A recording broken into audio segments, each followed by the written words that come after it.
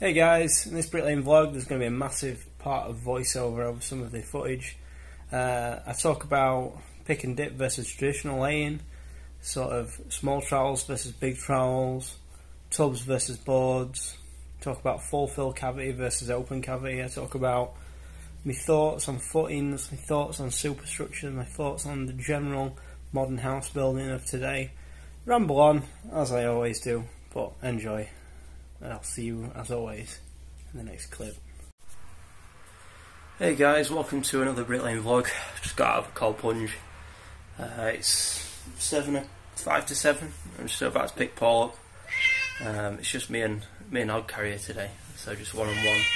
Uh, Dean's not in because obviously Dean's uh, just laying now, so I have to do things slightly differently when there's two of us on the line because he'll probably lay about eight to ten bricks to my 30, something like that maybe. So we can afford to run out things longer. So I don't really normally go longer than like a 30 odd brick run uh, when I'm on my own. So we can we can extend that to like 50 or even 45. But these bricks are dead dry on this job.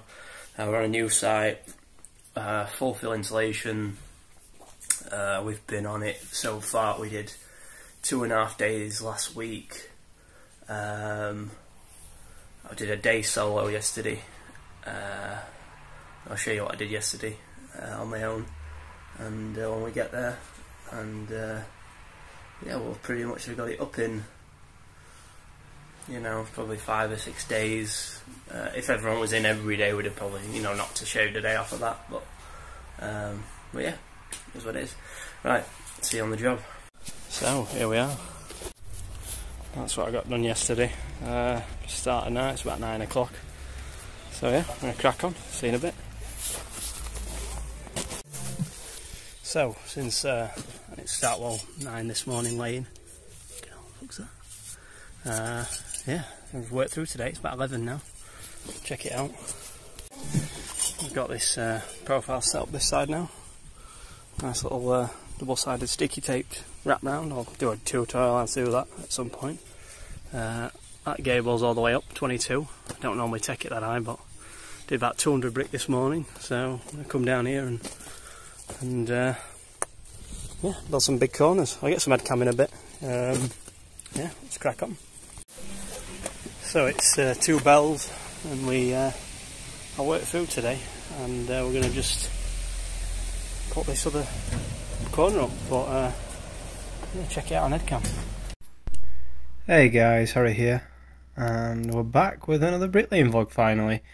Um, so voiceover part of the video, uh, it was a little bit loud today on site, and um, I had my music on. I had music on the radio, just me and Paul. So I like to keep the music on. I like to try and keep my days as you know short as I can, really. Um, these days, you know, it's still you know still make a decent wage.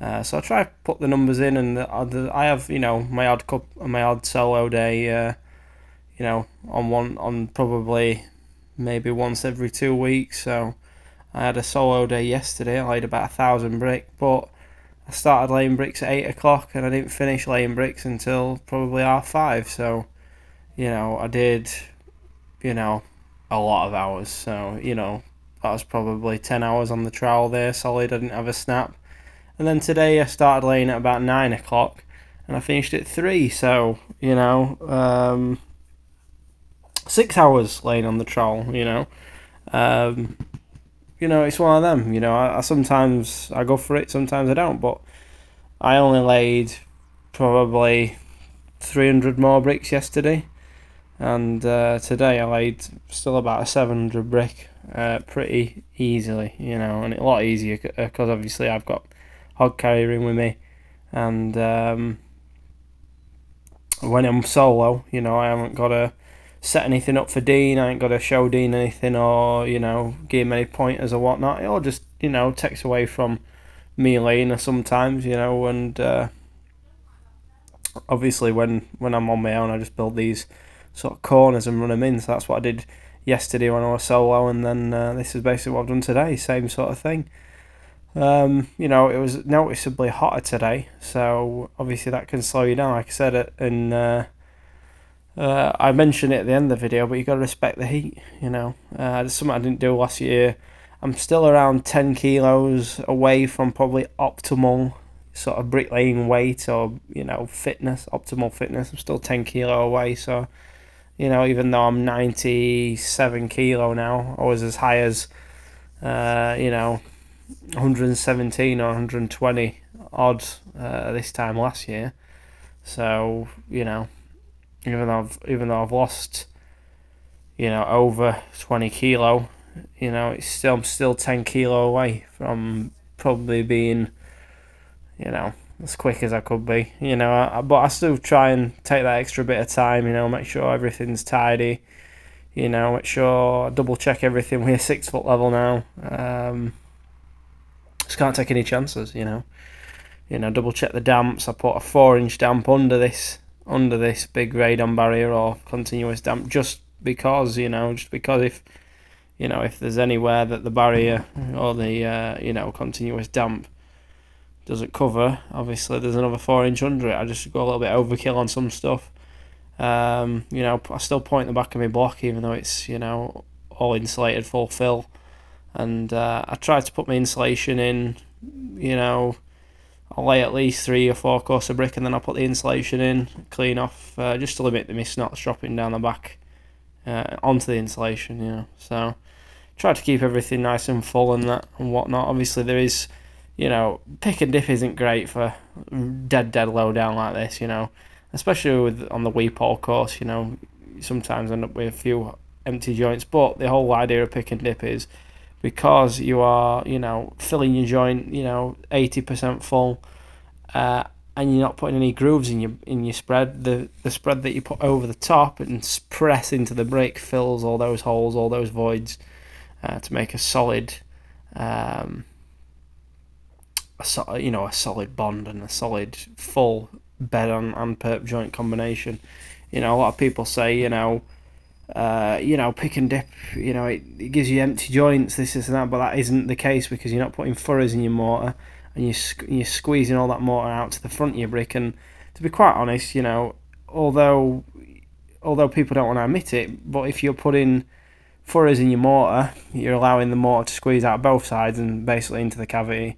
And you've got a sort of limit now, especially on new build houses, especially on these social houses as well. Like these are these are uh, these are housing association you've got to limit the amount of gobble that goes into the cavity, you know, to stop stop you know moisture bridging and um, you know, especially an open cavity. But obviously this is full fill.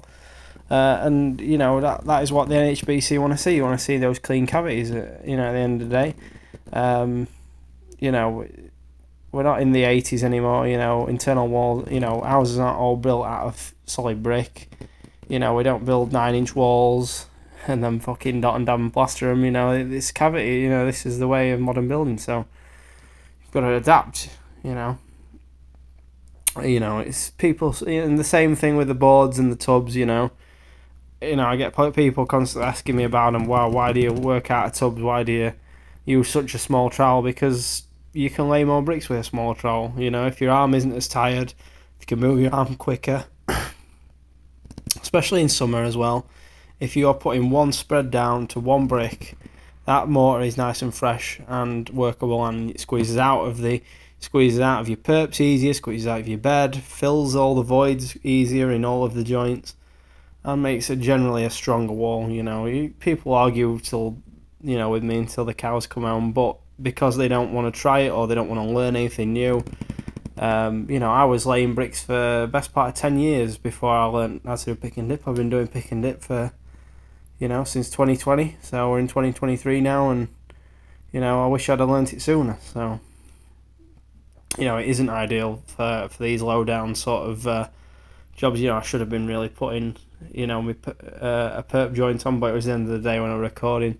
I was completely baked by the sun, and uh, you know, I put plenty of sun cream on, but it is some of it is you don't want to be doing more than five or six hours in the heat. You know, that's why you've got to, uh, you know, have it all set up so, you know, your gang's always viable. You know, I always say that's why it works with Dean. Dean covers his money. You know, Paul's a fantastic hod carrier and he keeps us going easily. And uh, you know, loads out well in front, and uh, you know keeps the mortar nice and uh, nice and workable. Gets every keeps everything tidy, and uh, you know keeps all his bricks at waist height. If you can see, I'm going to give him the head cam at some point, and he's going to show. Uh, you know, put a little bit of hod, car- hod carrying on the uh, channel. How he do, how he goes about, uh, you know, with the with the hod. Uh, he does the hod on his shoulder, and then he carries a, a brick clamp in the other hand. So you know, you'll see some stacks stacked with brick clamps and some without. Um, you know, if you're if anyone's wondering which is the best, you know, it's whichever you can get on with. You know, I've stopped using brick clamps now um, since my back went, and the packs of bricks that you get these days because they're shifted about that much on jobs now because everything's built to order. So, you know, jobs are you know sort of running at a smaller, you know, on a, on a smaller scale now, just because of the slowdown and the interest rates of houses and whatnot. You'll find jobs, you know, you'll find packs of bricks being shifted all over the place, you know. Um, and the band and they've stopped a lot of the time now. If you've, I don't know if anyone's noticed in packs of bricks, but they've stopped uh, putting paper between the layers of bricks. So that's you'll notice that there's never any paper about on the. In, um, I've no, I've noticed, and it's just companies are cutting down on costs. You know, you know, years ago they didn't wrap bricks. I remember when uh, we were using Connie bricks at, at Keepmoat years and years ago. Um, and they were using Connie bricks, but because they were cutting down, it was just coming out of the recession uh, I think we're on like 300 a thou or 320 or something like that. And they cut down on uh, cut down wrapping the bricks up. You know, bricks didn't come with, with plastic around them. And obviously they realised about a few bad rainy winters and, you know, it was essential that bricks became covered, you know. You know, and uh, God had me fair, fair load of uh, Ibstock bricks uncovered.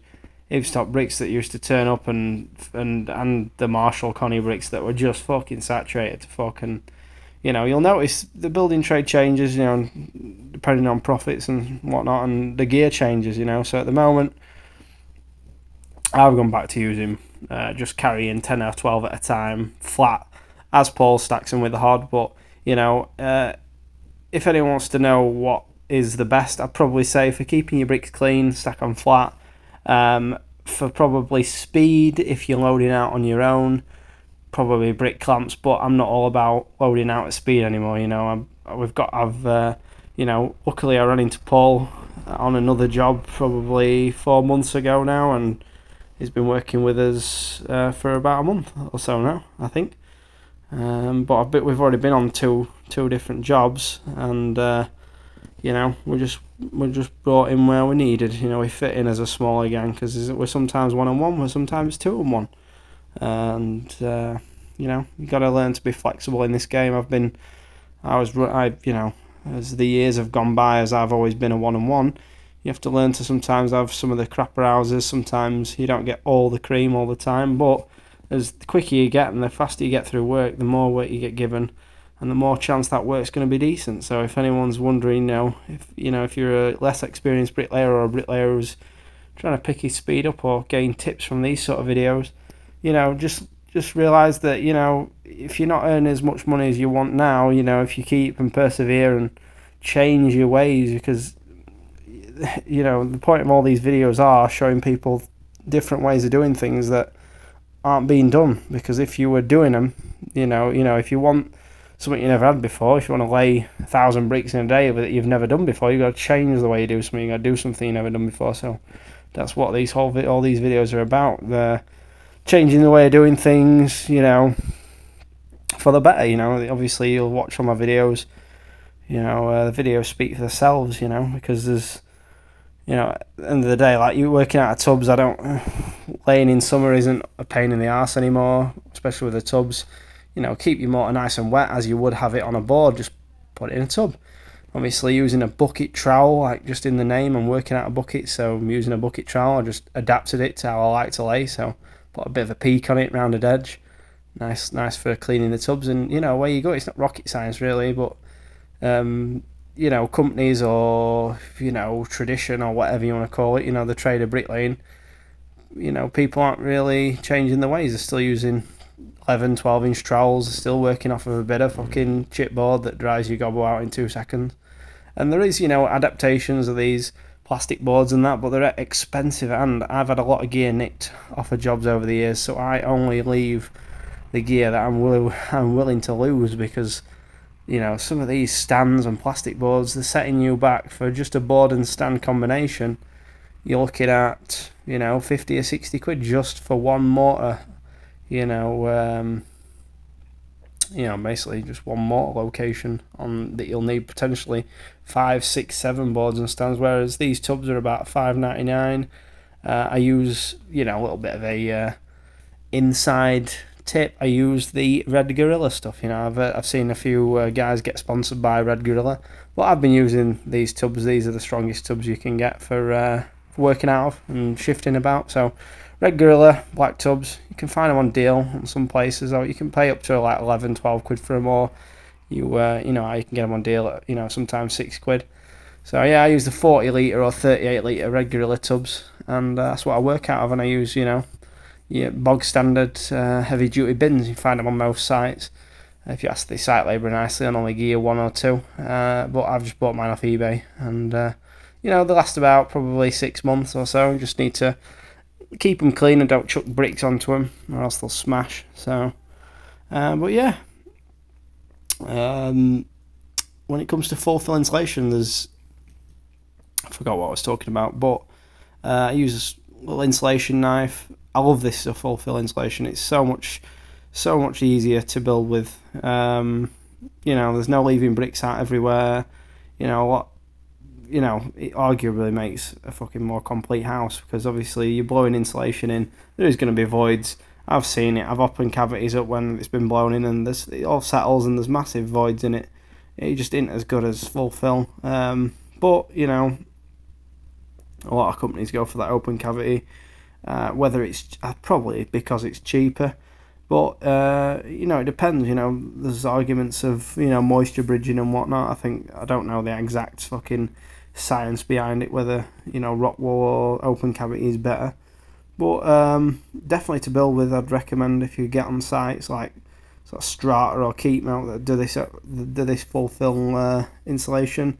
It's definitely worth a good fifty or sixty quid a thou. Um, time wise, you know, I've worked open cavity. I've laid thousand bricks open, thousand or twelve hundred bricks in a day open cavity, and I've laid a thousand or twelve hundred bricks in a day. You know, full fill cavity, and to be quite honest, for stress management and just fucking saving your wrists and arms and squinting, looking down and all, it's just a lot easier to build with.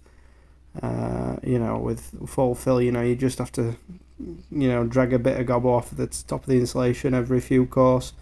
And if you put your insulation in probably like three course, you know, showing your insulation three course above your brick, you know, it, it reduces all your mortar squeezing out into the actual cavity and just uh, you have to lay the brick a slightly different way as well. You need to sort of minimise the gob scraping out the back. That's why you see me angle the spread uh, when I'm picking dipping away from the cavity. You angle it and uh, just stops that squeeze out. You know, stops that squeeze out into the back that you don't want. You don't want that. You don't want it squeezing out into the back. You don't want that excess mortar filling the cavity. You know, so.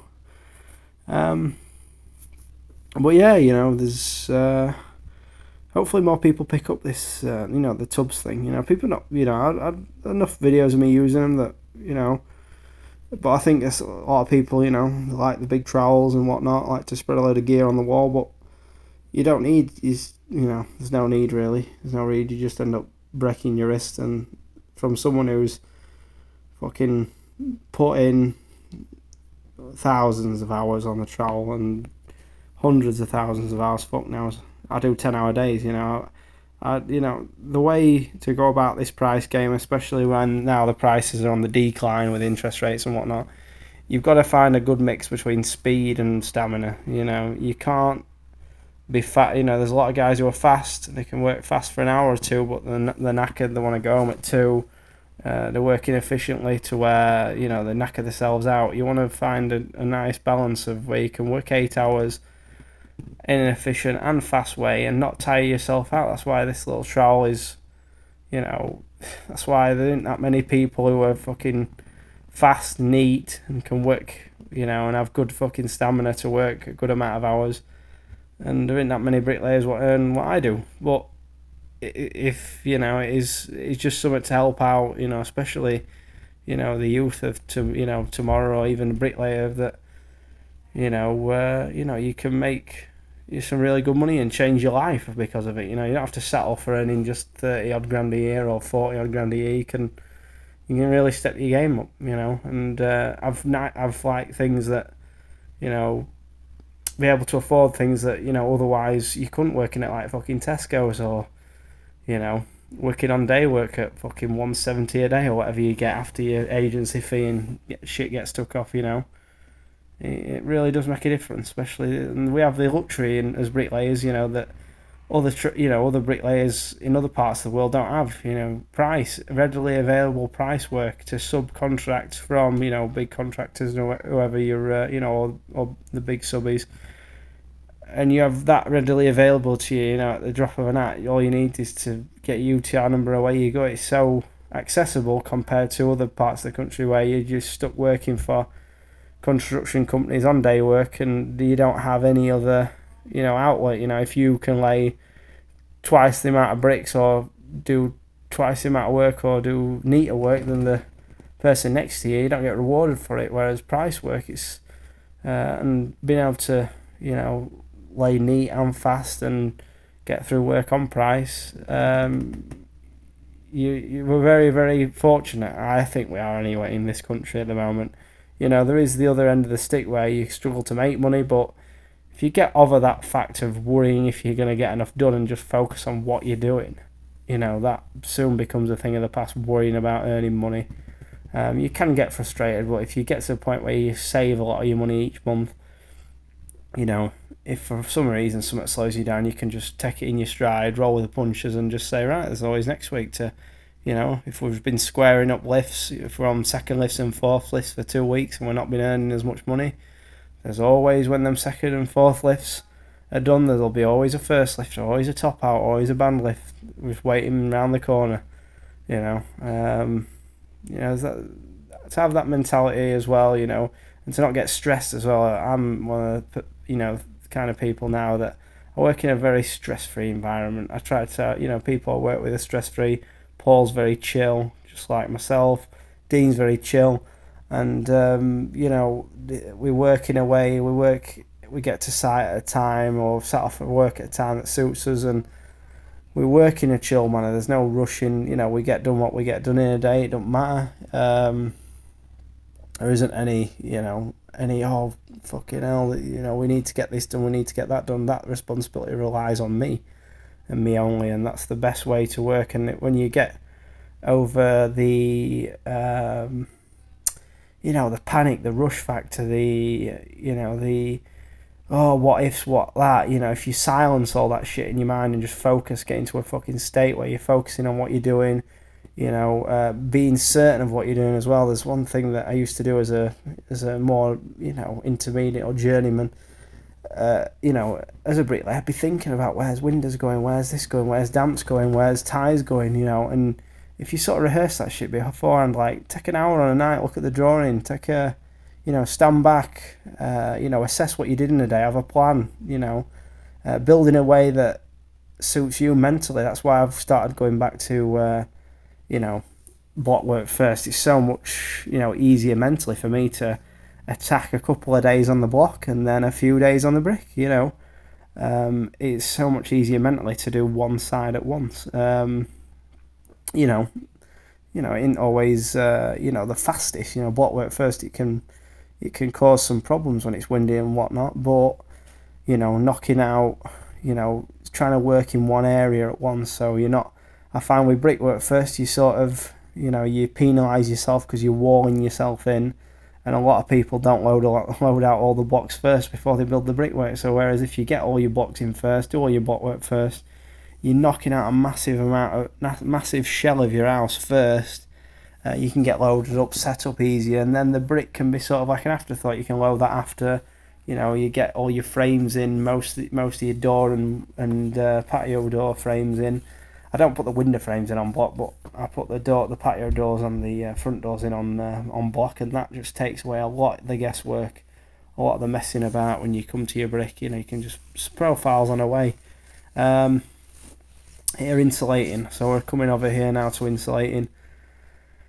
Uh, this stuff's bang on. You know, it all comes cut for you. Um, I use a little insulation knife, it's like a tenner off Amazon or something like that. You can use a bread knife basically if you want to get a cheap, uh, cheap B and M bread knife. Does the same job, but I think they last about. I've had this one four months, and it's getting a bit blunt now. But I could do with just buying a few cheap bread knives, and basically that's all it is. Um, the other side cuts through rigid board insulation uh, as like a as a soft side, as like a you know bread side and like a rigid board side. Both good, you know. I use that, you know, the rigid board side of the knife to cut through that this new thick damp we use.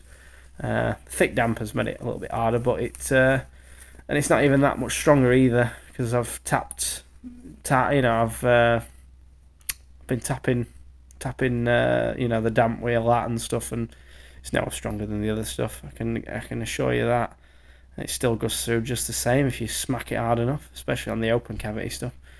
Um, you know, it is thicker. Whether you know regulations change, I know there's a, regulations coming in now with 150 mil cavities after a certain date. So, you know, the building industry, you know, comes up with different things it needs to do, and I suppose it's all driven by the NHBC. But you know, I still think it's uh, open cavity is a massive it's a massive flaw in the building. You know, having fucking Swiss cheese houses, with you know, weakening your house by leaving bricks out everywhere.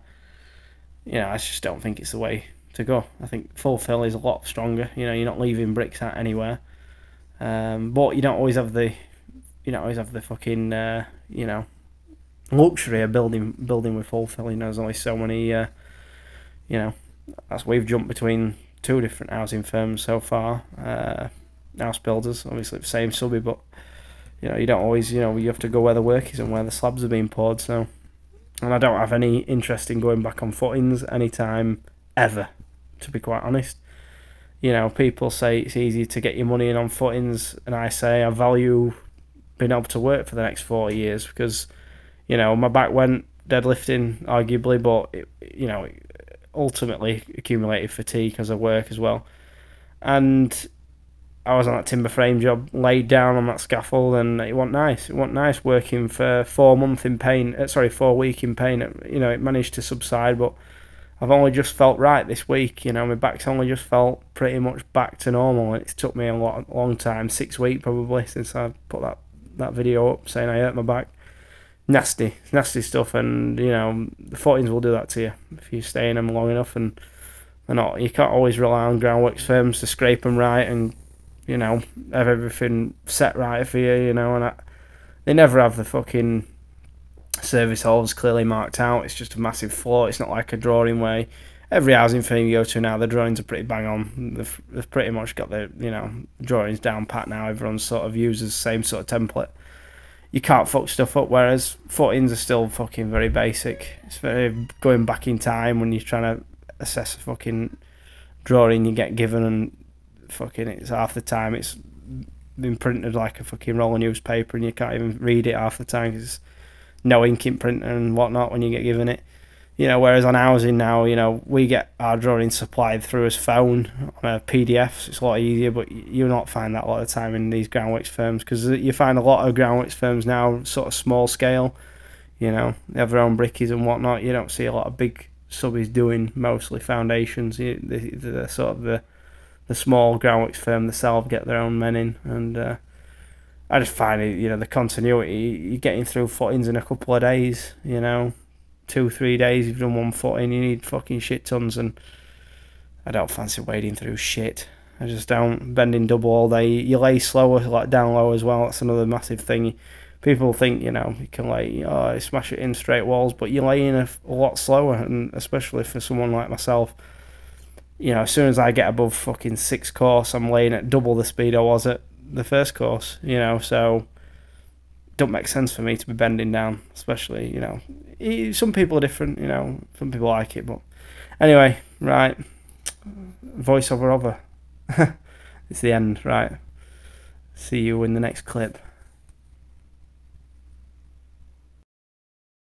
So it's uh, half three and this is what we got done. I didn't really want to record today, I wasn't feeling it really, but uh, that's what got done, just me and Paul.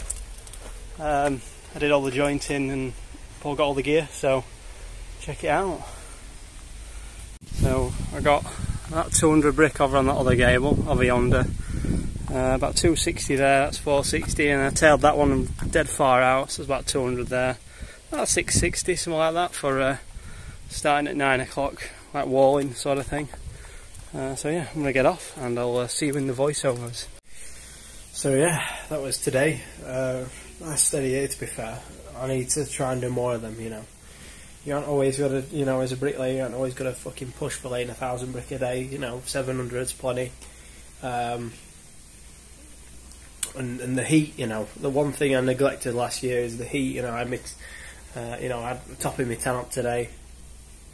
You know, you gotta respect that heat because it's gonna fuck you up for days, you know.